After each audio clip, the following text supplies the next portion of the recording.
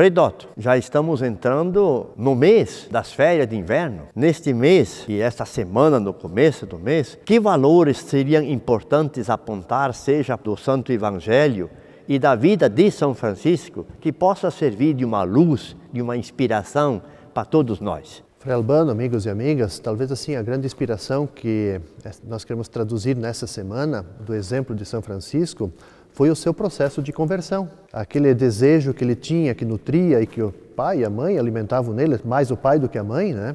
De ser assim um, um, grande guerreiro, conquistador, conquistar territórios, né, fama, riqueza, enfim, tudo aquilo aos poucos foi assim desaparecendo nele, né, à medida que ele também interiormente foi se transformando por experiências externas bem concretas. O fato dele ir para a guerra e de repente acabar na prisão e como consequência da prisão também a doença, isso foi transformando a sua vida, né? Teve que pensar no seu modo de viver, né? Se de fato aquele o desejo de ser famoso, guerreiro, se de fato era aquilo que Deus estava esperando dele, ou tinha outros projetos para ele, né? Depois um outro fato importante da sua vida, o encontro com o leproso, primeiramente aquela repulsa, né? Mas de repente ele é capaz de vencer tudo isso e é capaz de beijar o leproso, né? Então tudo isso foi transformando a vida de Francisco. Aos poucos ele foi percebendo que de fato essa era a sua missão.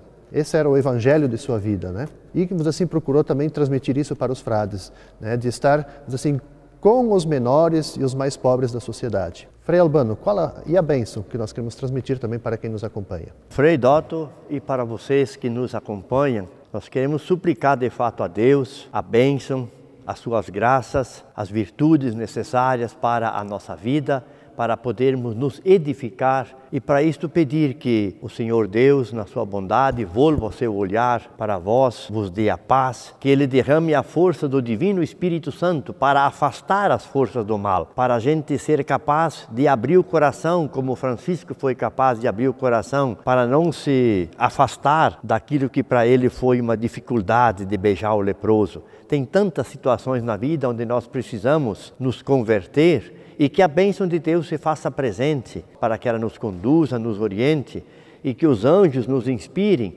a fazer esta sequência em nossa vida.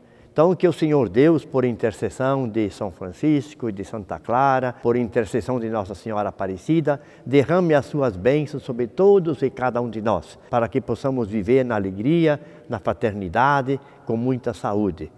Que Deus a todos e a cada um abençoe. Paz e bem.